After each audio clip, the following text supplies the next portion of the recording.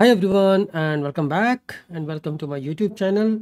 In this video we are going to talk about what is polyrepo repo and what is monorepo and when should we use uh, and what are the advantages of using monorepo. I won't suggest you should be using polyrepo now because it's a monorepo world and we should start using uh, monorepo. This video is focusing on why should I use a monorepo and uh, i read this popular quotes today because i follow this particular strategy. First do it okay? If you want to build a clone or any full stack application in separate separate repository you do it. Then try to make it right and then try to make it little better. So you might be using uh, these poly repos earlier where you are actually building your code in different different uh, repositories they have their own ci cd setup on deployment structures on on deployment mechanism. But now once you build it you should always see whatever the application you are building whatever the api you are building or whatever the work you are doing you should always think of how you can make it little better. So there is always a scope of making things better right?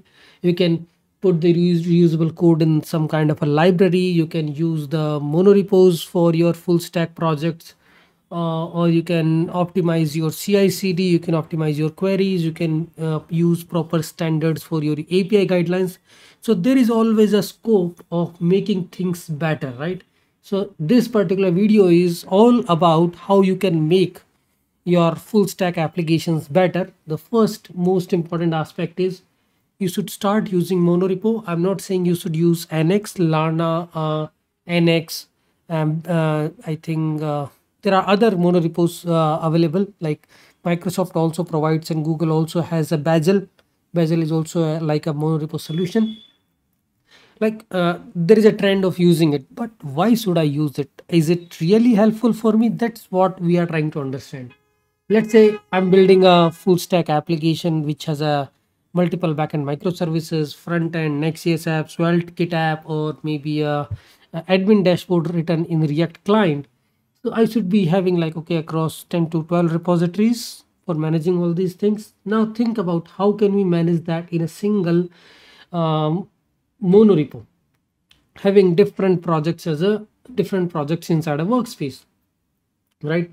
So because even if you have uh, multiple teams there is always a pros and cons of using polyrepo uh, and monorepo when you are using monorepo obviously you have to manage the collaboration because all the 20 or 30 member PA people will be using a single repository to work on to that right?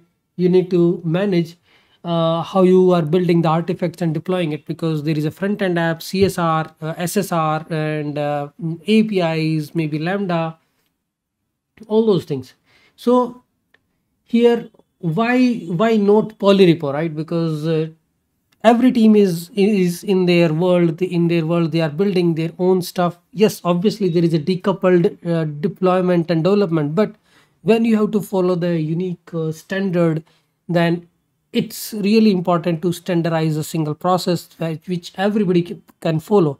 And it's not like uh, we are putting a lot of duplicates because here when you are using poly polyrepo you end up doing code duplication uh, uh, you actually use individual library library in individual repository. There is no uh, code uh, reusability. Even you end up doing code duplication inconsistent tooling the standards tooling linting all these tooling setup which we do currently in all the projects.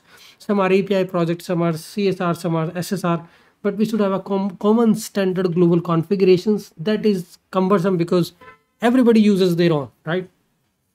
That can be solved by using polyrepo.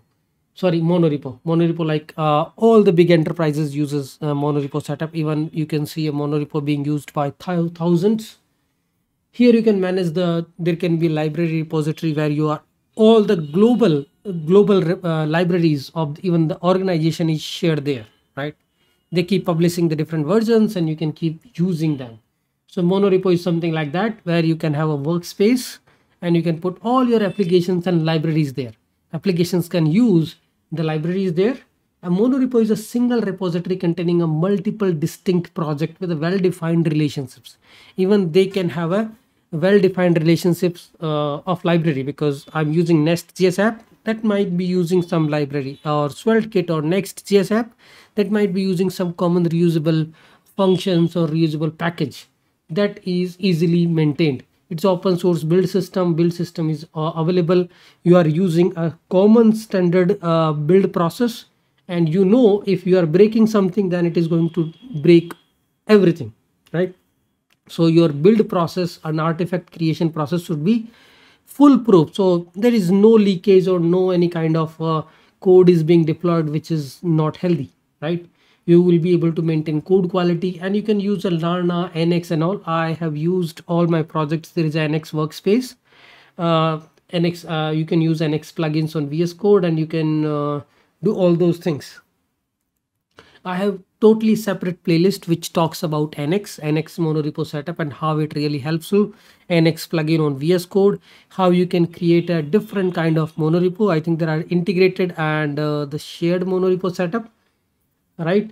those things uh, we can set up using nx or you can also use a Lerna and then because this is if you are talking about pros and cons then there are both the things if you are totally new to the monorepo things then you have to understand how it really works because there is a single repository and you will be your whole team will be maintaining it. You will be enforced with the common guidelines and common standards uh, of writing code. And then obviously you are your deployment structure will be a single. Then you have to use a changeset like okay i want to deploy only these these packages not the whole application. Then you will be using changesets and all those things. Okay so this this uh, video is just only talking about uh, what is monorepo and how it can be helpful. Polyrepo polyrepo is really a thing of past. Now we don't create 10 different repositories to just uh, build us one single app because now full stack means all javascript and all javascript can be bundled into a single repository with the different applications with the reusable libraries. And there are many solutions available for it okay